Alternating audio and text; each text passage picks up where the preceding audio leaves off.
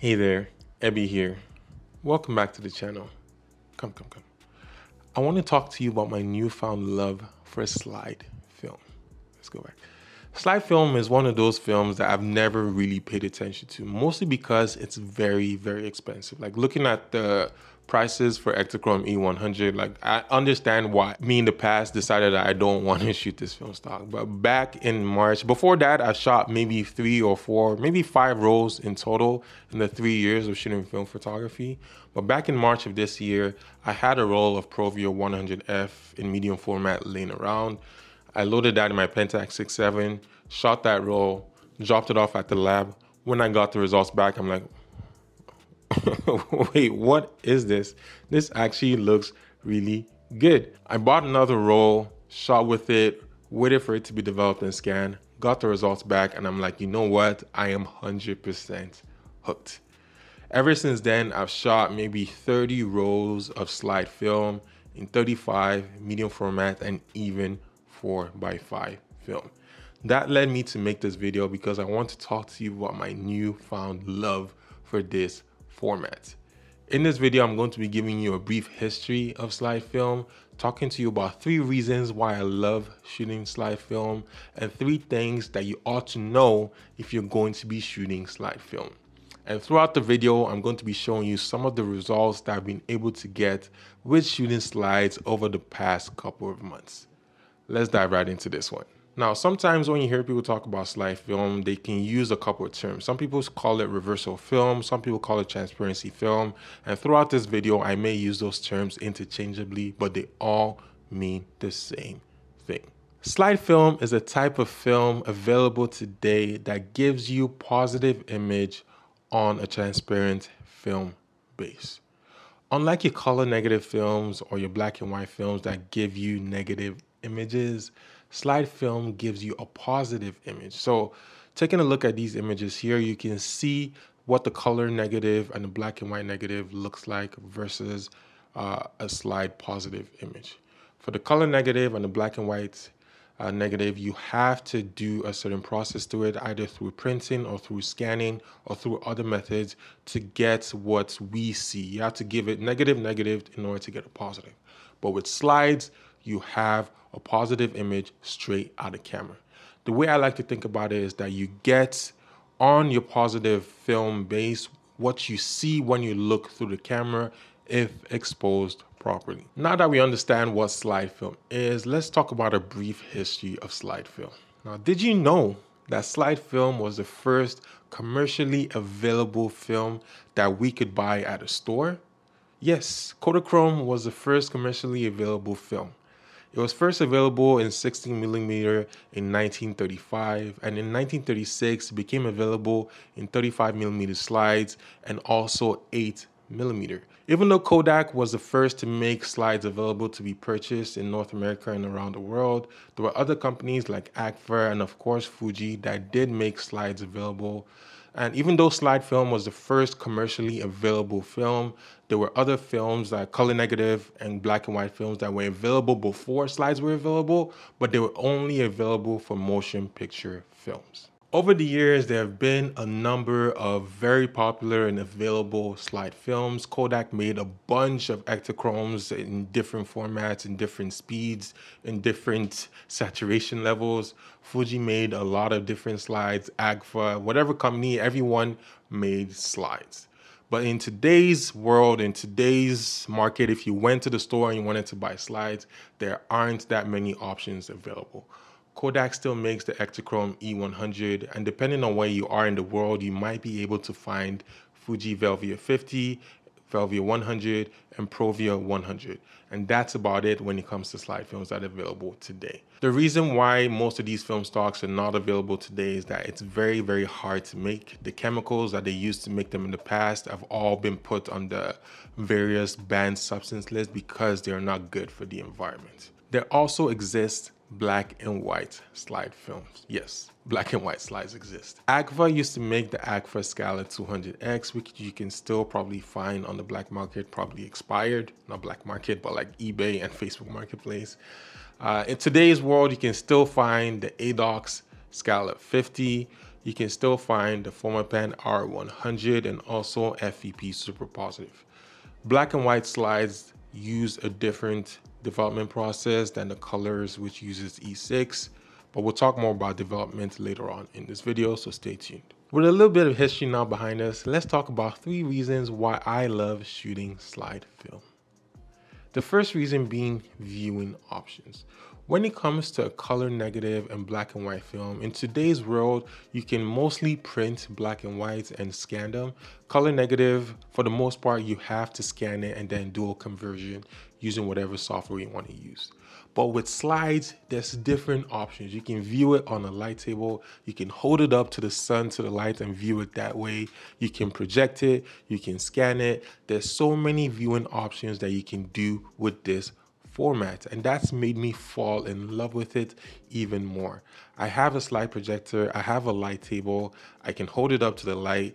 It just allows me to do so many different things with the slides that I can't do with the other color negative or black and white images. The second thing is the colors. Now, if exposed properly, you have beautiful, beautiful images. You have vivid colors, you have different sort of representations of colors and lights.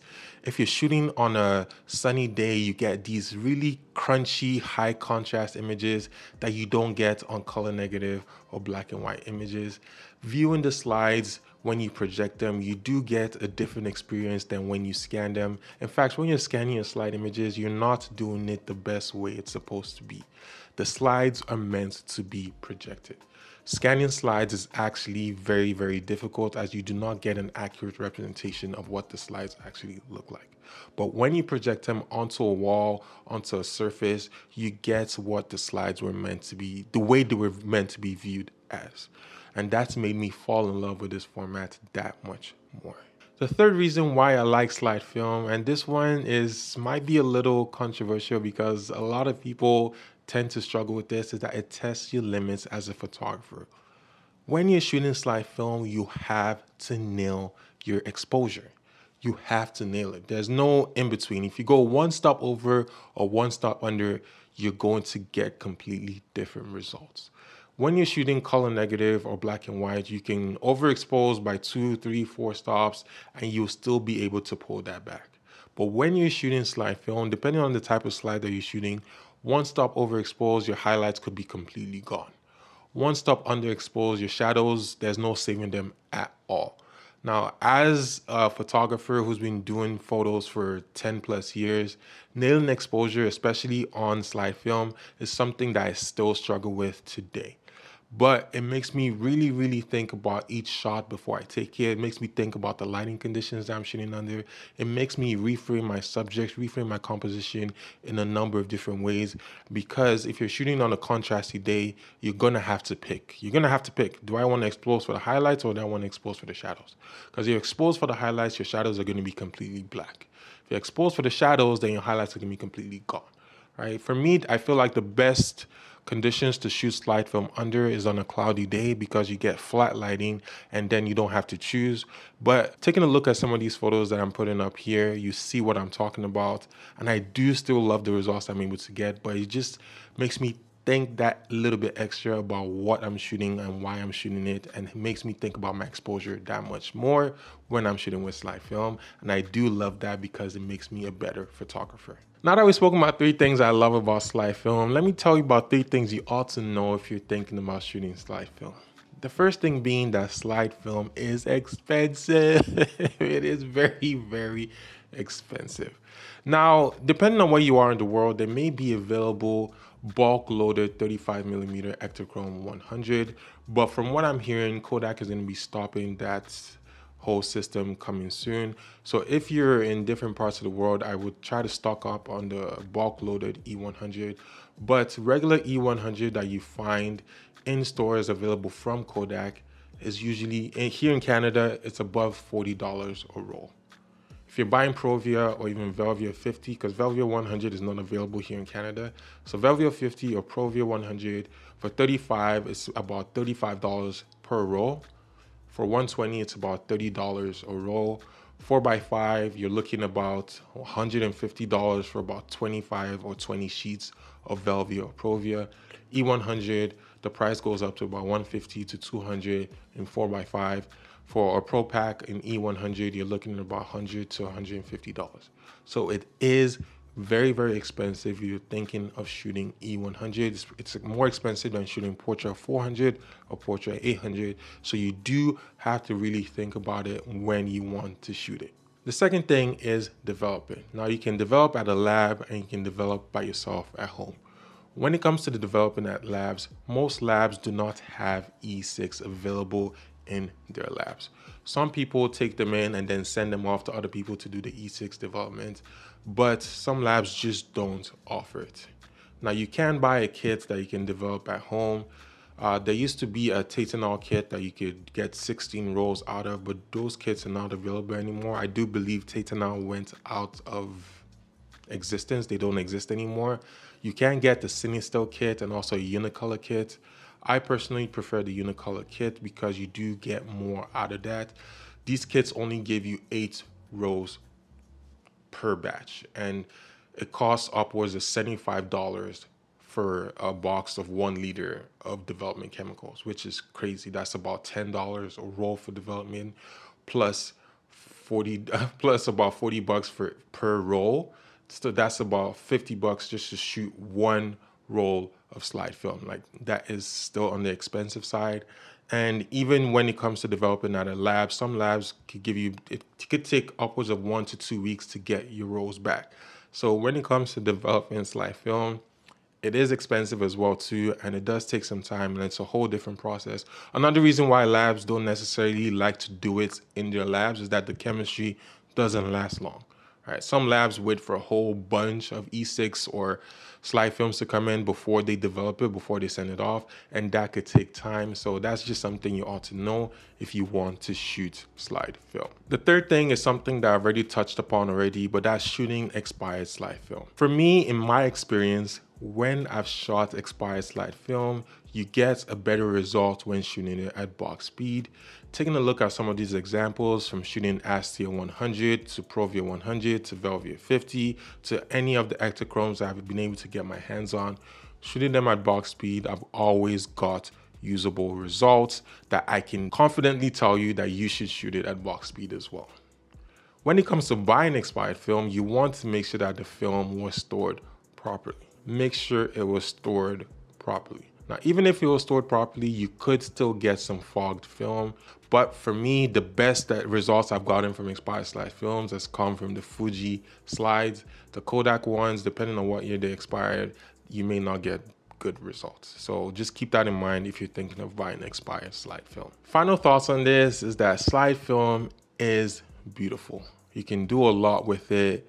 It does cost a lot, but the results I feel give something different that you can't get with color negative or black and white. So if you're thinking about shooting slide film, go ahead, buy it, shoot with it, learn from your mistakes. Try to get your hands on some of those bulk loaded E100 before Kodak decides they don't want to sell it anymore. Make sure you do, shoot some slide film. Let's talk about it. Follow me on threads as that's where I talk more about what I'm doing in between all these videos. Thank you so much for watching. If this video has brought you any value, please make sure you do the things, hit the like button, subscribe to the channel as this goes a very long way to making sure I produce more content like this. Until next time, make sure you stay safe, make sure you shoot film, and I'll catch you in the next one. Bye.